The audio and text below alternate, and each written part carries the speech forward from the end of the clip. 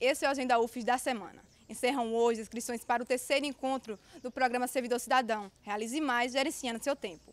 O evento acontecerá amanhã, das 8 às 12 horas, no auditório da Reitoria do Campo de São Cristóvão e contará com a participação especial da cantora Bartira Fraga e da professora Raquel Lacorte.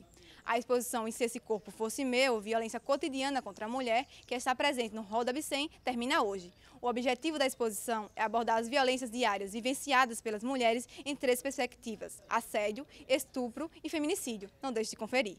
E amanhã, em homenagem ao Dia Internacional da Mulher, a Proreitoria de Gestão de Pessoas realizará a programação com palestras, sorteio de brindes, bazar, exposições, massagens e tratamentos da pele. O evento começa às 8 horas nas imediações da reitoria. Para saber mais sobre esses e outros eventos, acesse o portal UFES. Até mais!